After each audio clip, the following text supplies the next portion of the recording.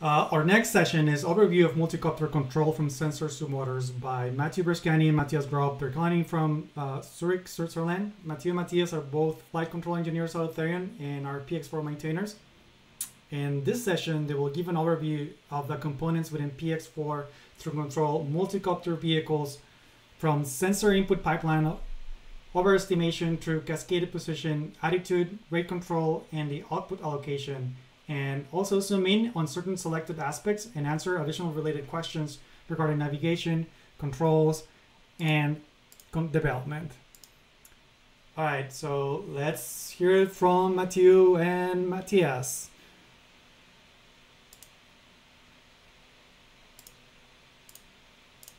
Welcome to a new talk about navi in the navigation control series. Uh, I'll present today with Matthias the, the, overview of multi-copter control from sensor to motors. So I'll first let Matthias introduce himself. Hi, I'm Matthias Grob, um, MaEtUgR on GitHub. I work with PX4 for a lot of years now. I joined the maintenance and uh, developer team in 2017, and I'm flight control engineer at Auterion. So my name is Mathieu Bresciani.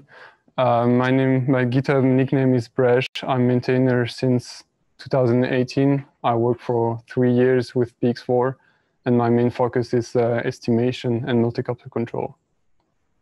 So we'll first give you an overview of the multi-copter pipeline, then specifically on the IMU side of that pipeline, um, different paths on estimation and control. Then Matthias will give you an overview um, an update on flight task from last year, and then explain the quaternion attitude control, and I finally uh, talk about um, control allocation. So like the title says, we want to give you a quick overview over the components in PX4 that make up everything that's necessary to fly a multicopter. Uh, this overview is, is very rough and there's not an arrow for each and every uh, data path, but the general path is there. So from from left to right, uh, we have the feedback loop here um, here closed, and from the top comes the data path that determines the behavior of the vehicle. So on the left, we start with sensor drivers that get in our raw data from an example of uh, sensors for every component, I wrote down the path as well in the code if you want to look it up uh, such that you'll easily find it. And I wrote down the topics that are published over uh, where the data is then given over to the next module. Each sensor um, publishes his specific data on a specific topic, and this then gets further processed in the sensor hub that we'll cover later on a bit more then it goes through uh, an EKF, the estimator, uh, which is covered by Paul Riseborough tomorrow. Um, then from the top comes, as I said, the behavioral uh, path of data. So your input comes through here, what mode you're in, how you want to fly, and what your um, stick input is from the remote. And this goes then into the position control, attitude control, and rate control uh, pipeline for multicopter that was covered by Anton uh, just before. And we will cover some, like we said, some of the flight task updates and attitude control in this talk.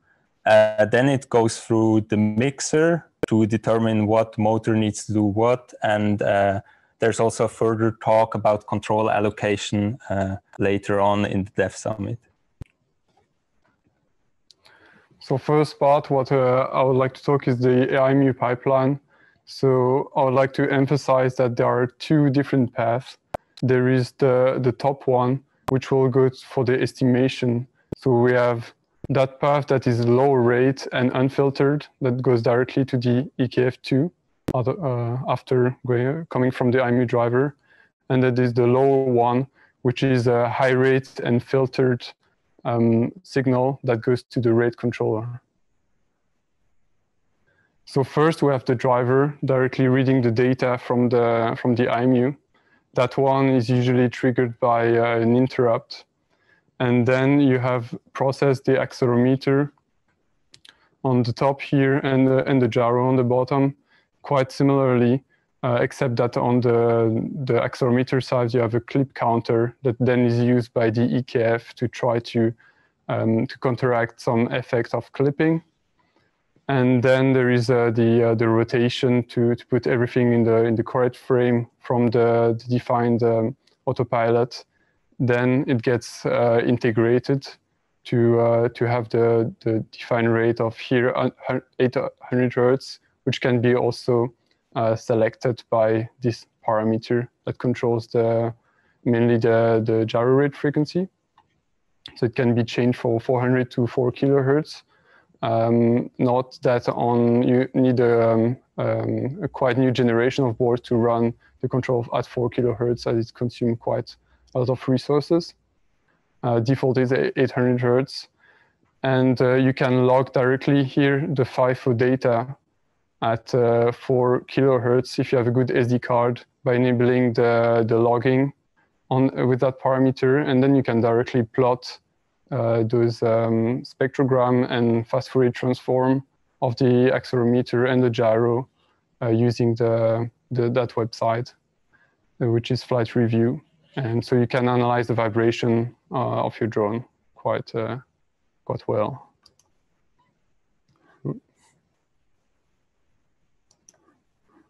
Sorry for that. So um, then the estimation path, which was on the top of the, the, um, the slide before, um, you can select the, the IMU integration rate that will define the output rate of the EKF, which is the attitude message, uh, but not the, um, the, the other one, which is position and uh, velocity and the other message which are fixed at uh, 100 hertz. So there are two, for, for each IMU, you have one of those blocks, which is vehicle IMU, that receive calibration, compute some vibration metrics, and are published to the vehicle IMU topic. That vehicle IMU topic, so as I said, there is one per IMU, and that will enable us uh, in the future to, to run one EKF per IMU and then switch over. Uh, right now, we're still using that topic that you might have heard of, which is called sensor combine. It's actually one instance of that vehicle IMU topic with the highest priority. So soon we'll have multi-EKF. We already have prototype working, and that will enable switching between um, IMUs depending on the on the state on the state of the estimator. Then on the control path, which is uh, faster, we have um, first part the acceleration. So it got also calibrated, compensated for the estimated bias of the of the estimator. And then there is a low pass filter that you can select, which is uh, that that one, IMU-XL cutoff. And that goes into the vehicle acceleration topics. It's not a lot used in multicopter, but it's more used on fixed wing and also on uh, in Commander for uh, launch detection and uh, load factor um, uh, computations. Here on, on the bottom part, you have the, the gyroscope. The data that comes in gets calibrated, also compensated for bias from the estimator. And the difference with the accelerometer is that you can select here a notch filter and then the, um, the low pass filter. Also in that same block, it computes the derivative and filters it that will go to the, the rate control directly. And on the right side, you see all the, the parameters that can control the different kind of filters. And on the bottom here, like that specific notch filter, where you can select the notch frequency and the bandwidth of the, of the filter. So since I'm uh, one of the authors of Flight Task and I gave a speak already on the last year's Dev Summit, I wanted to give a quick update on the to-dos we had from last year, what was done in that year. Uh, one of the to-dos was to avoid discontinuities between mode switches or also then task switches, uh, which were present because an, the new task didn't know what the old task was doing before and uh, only had the current vehicle state to take over, which is not enough because uh, it cannot know how to continue with the set point uh, in a continuous way. And the idea here to solve that is to just capture the last set point that was executed from the task before. And that gets passed onto the activate function of the new task.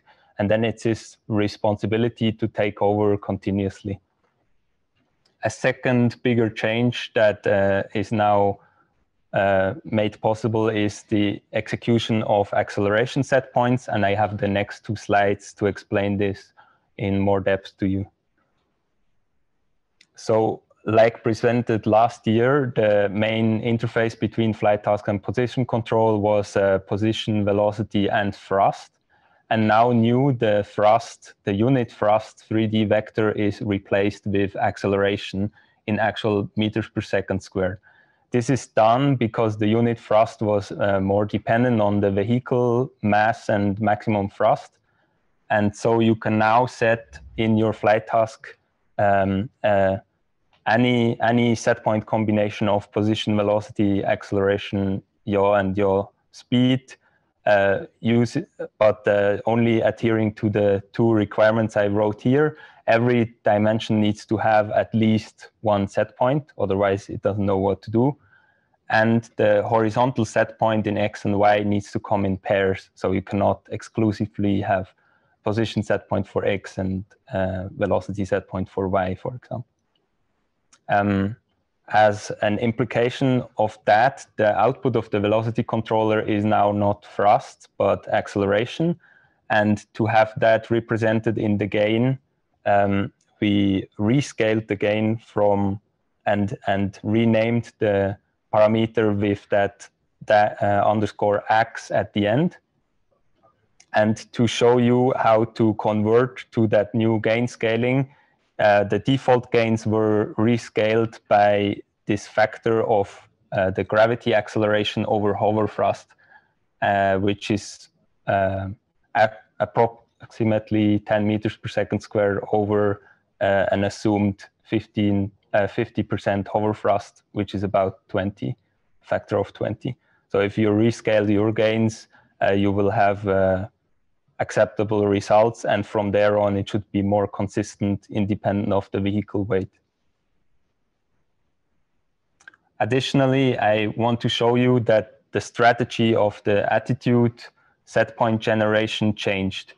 Before, um, the 3D thrust vector was directly used to uh, generate the attitude, and that had some problems because the vertical um, vehicle dynamics are usually much faster than the horizontal or rotational ones in practice. And so the idea to solve this is to make the tilt of the vehicle, so uh, the tilt of the attitude independent of the vertical demanded acceleration. I have here uh, a small example on the right side.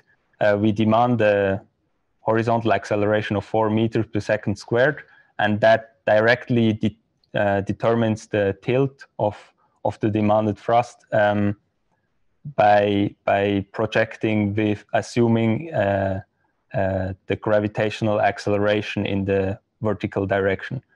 And the demanded acceleration in the vertical direction then can only change the amount of collective thrust, but the tilt stays the same independent of uh, the vertical control. Um, yeah. Um, further, I want to address some to-dos that are still remaining uh, related to flight tasks. Uh, flight tasks are now a library instantiated in position control and should be moved out into their separate component. Uh, there is still an inheritance structure which uh, is kind of hard to get into and um, yeah, it, it hinders the sequential reading of what, what is ex executed. Then uh, flight tasks are planned to be extended to flight modes, which support also other set points like rate and attitude set points directly. This would then cover all, all possible flight modes and uh, we have no exceptions left for modes that cannot be covered. Then a goal is to import the existing navigation states for autonomous flight like takeoff, RTL land into such flight modes such that we have one uh, single type for for a, to represent the mode and not like scattered over over the code. Uh, then there's also a low barrier with those flight modes to also be used for other vehicle types like uh, fixed wing VTOL or rover. And also a, further goal is to hook it up with the state machine, which is now Commander, to um, to be able to infer the state machine transitions from certain prop properties of the mode directly.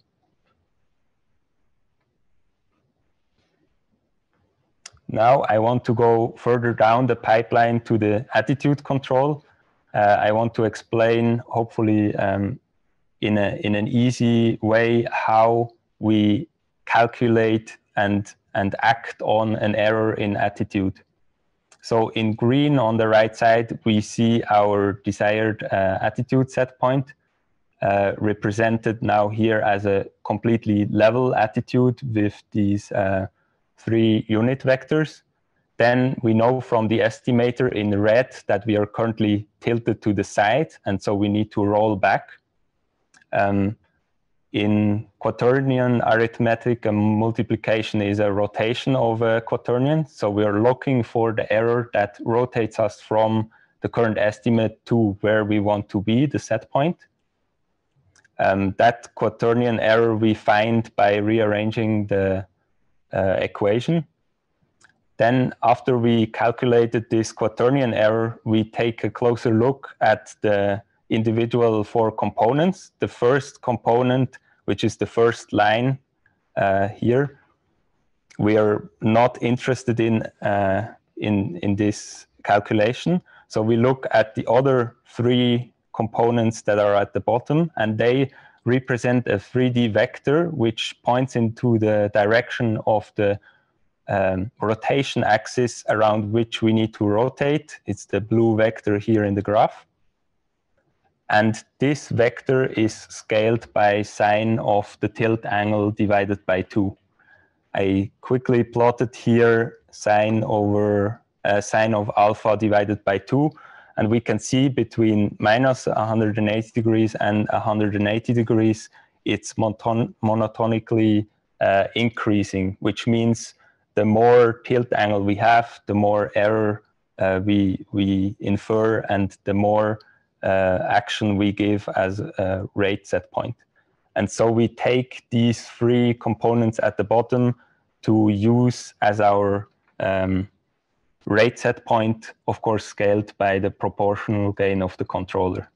I didn't invent this uh, algorithm. It's uh, represented uh, more in detail in that paper that is also referenced in the code. So I'll quickly discuss about control allocation. So basically what's control allocation is, is a way to transform the desired force and torques that come out of the rate controller into the actuator outputs. So it's kind of mysterious blocks here that has to do that operation. Uh, fortunately, we can use linear algebra to achieve that as the system will, is close to linear if we only use force and torques. And how do we compute that control allocation matrix? So what we do is that we take the, the geometry of the vehicle and uh, the force that can produce each motor. Uh, given that, we can build the actuator effectiveness matrix here. And then by computing the inverse, we can have the control allocation matrix. That inverse is, if it's squared, it's just a, a squared matrix, it's just a normal inverse. And if not, if you have more actuators than, uh, than inputs, then you can have a, have a pseudo inverse here computed by a Moore-Penrose um, solution. So basically how to add new geometry. So you have a new vehicle, that has a crazy shape with uh, 20 motors or I don't know how many. Uh, you want to add a new file for that to have a new mixer. You can have the description, you can have your own description in uh, in a new file in that path. It's a TOML file. You can describe the position and the force of each uh, actuator. You create a, a new key for it, a unique key. And then in the, the ROMFS, you can create a new mixer with that line, which means that the R is for a multicopter. Here is your key, And uh, those numbers are just for legacy reasons. You don't need to worry about it. And then simply call that that mixer that you uh, you your new mixer into your config. And at build time, it will compile everything for you. We have a Python script that will generate directly that uh, control allocation matrix based on the geometry, generate the the C um, C file, and it's ready to go. Also, that's why it's super fast to run in air because you don't need to recompute every time. Uh, one option that you can enable in uh, in control allocation is called air mode. So air mode is the is a way to increase the um, the authority of some axis over the the thrust. So for example, here on on that graph, you see on the x-axis that's the the roll torque you, you're demanding on uh, with that small uh, arrow here. And on the vertical axis is the collective thrust.